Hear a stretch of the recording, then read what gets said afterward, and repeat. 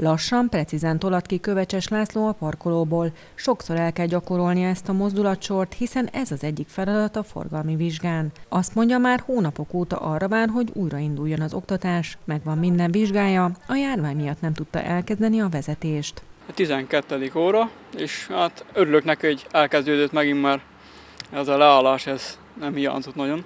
Csak ez a max meg kesztyű, ez, ez nehézkes egy kicsit a vezetés benne. Szigorú egészségügyi útmutatások mellett folytatódik a gyakorlati oktatás és a vizsgáztatás május 6-ától, erősíti meg az autós iskola vezetője. Maszkot és gumikesztyűt az oktatónak és a tanulónak is kötelező viselniük. Továbbá a diáknak nyilatkoznia kell írásban arról, hogy nem volt a közelmúltban beteg. Az autós iskola vezetője azt mondja, március 18-a óta senki sem szerezhetett jogosítványt, hiába végezte korábban online az elméleti képzést. Akkor döntött ugyanis úgy a kormány, hogy a koronavírus járvány miatt nem lehet ezeket a tanfolyamokat és a vizsgákat sem megtartani. Körülbelül 40 tanuló van, akivel újra tudtunk kezdeni. Mindenki azonnal jelentkezett? Hát már azon abban a pillanatban, hogy május 5-én délután megjelent a kormány honlapján az, hogy lehet újra dolgozni. Este 6 órakor már jöttek a telefonok, hogy na mikor kezdtek, de hát úgy voltunk vele, hogy még ezt a két hetet várjuk.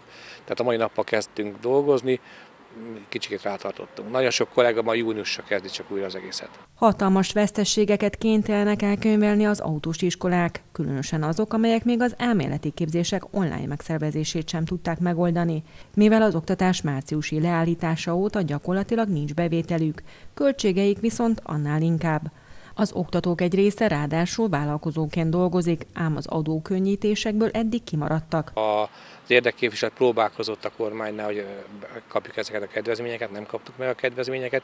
Innentől kezdve fizettük a járulékokat, fizettük a tanpályabérletet, tehát mindent fizetnünk kellett, bevételünk meg senkinek nem volt. Tehát nem csak az autós iskolákra érthető ez, hanem az oktatókra, akik nálunk is dolgoznak, vagy bárhol máshol.